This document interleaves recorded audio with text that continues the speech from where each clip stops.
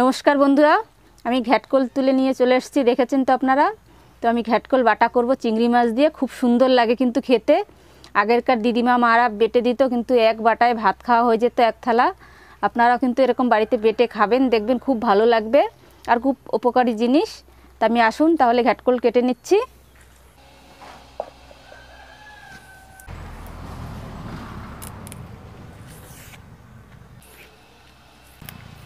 কেটে নিচ্ছি।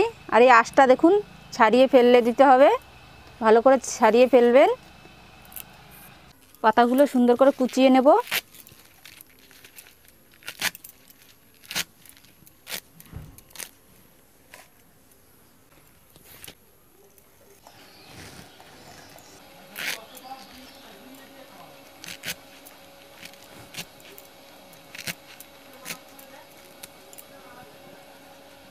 কাঁচা লঙ্কা, রসুন ছেলে নিয়েছি। এবার আগুনটা ধরিয়ে নেব।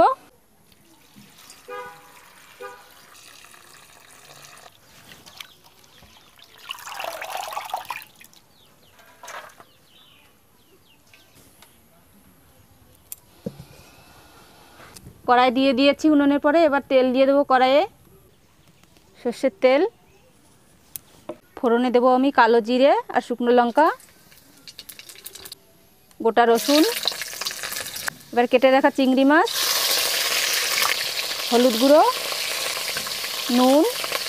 চিংড়ি মাছটা এবার ভালো করে ভেজে নেব।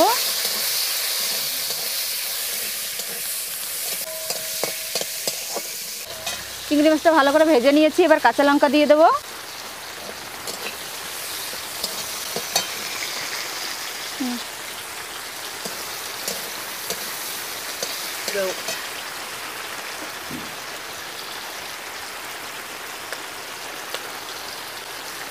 ঝাটকল শাক দিয়ে দিচ্ছি।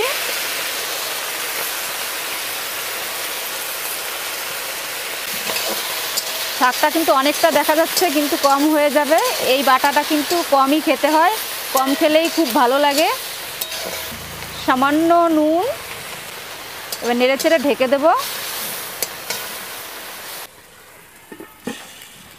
ঢাকনাটা খুলে দেখব কীরকম হয়েছে। টান টান করে ভেজে নিতে হবে।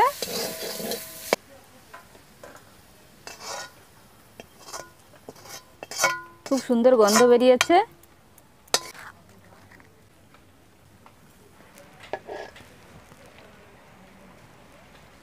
এই ঘ্যাটকুল বাটা কিন্তু গরম গরম ভাত রান্না করবেন, তারপর বেটে খাবেন দেখবেন খুব সুন্দর লাগবে।